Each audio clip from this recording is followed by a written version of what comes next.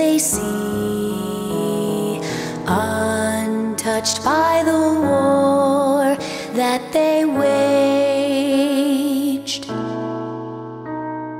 Laid low by their scars, a people wounded but free, seek what lies beyond.